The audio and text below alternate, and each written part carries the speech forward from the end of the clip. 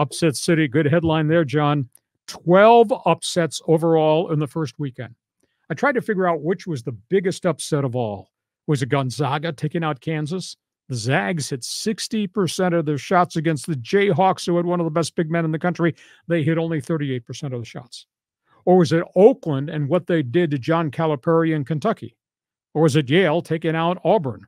Auburn self destructed when ex Aztec Chad Baker flipped an errant elbow running down the court, hit a kid in the face in response to getting bounced the prior possession. Mm-hmm. And Chad Baker, Mazara, got ejected from the game. Their power forward. Four minutes into the game, he got yeah. thrown out. Yeah. And he took no responsibility. My guys, I got my guys at my back.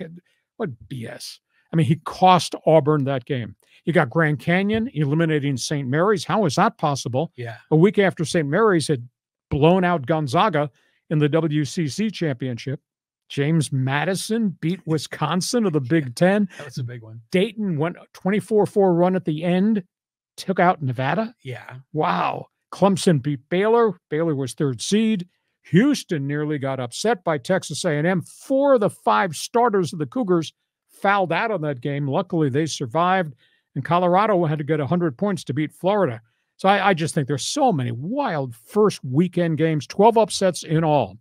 Purdue, Zach three games or two games, 53 points, 35 rebounds in two games so far for the Boilermakers. That dude. What a monster, man. Incredible. Somebody in the NBA is going to get an amazing player. I tried to think, how good is he right now, talent wise, compared to Victor Wembanyama, who is seen doing great individual things on a bad San Antonio team? Somebody's going to get Zach uh, in the NBA lottery. And I, I don't know how to respond to the massive disappointment of the Mountain West Conference. Aztecs are still playing.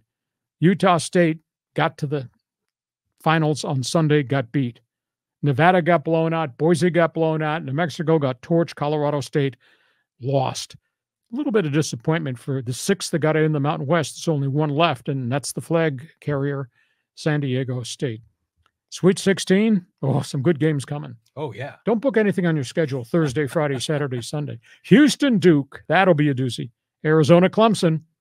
Purdue Gonzaga. Those, those, those to me are the top games as we go to the Sweet 16. So 12 upsets. Comment if you will. Comment. The Comments all over the place. That's so many storylines in this tournament. Like the Grand Canyon team reminds me of San Diego State 15, 20 years ago, you know, where they recruit these really long athletic guys that could play D, could hustle, but couldn't make a shot. Uh, that was a really entertaining game when they went up against Alabama in the second round.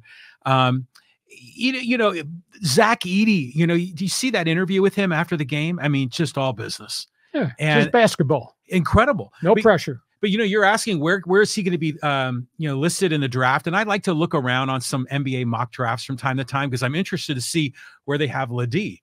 Well, one of these guys had Zach Edey in the second round, and they've got all these dudes like from you know international leagues, you know, so, and, and so like the complexity of the draft has changed so much in the NBA. So who knows where Edey's going to land? Yeah, with the Euros for certain.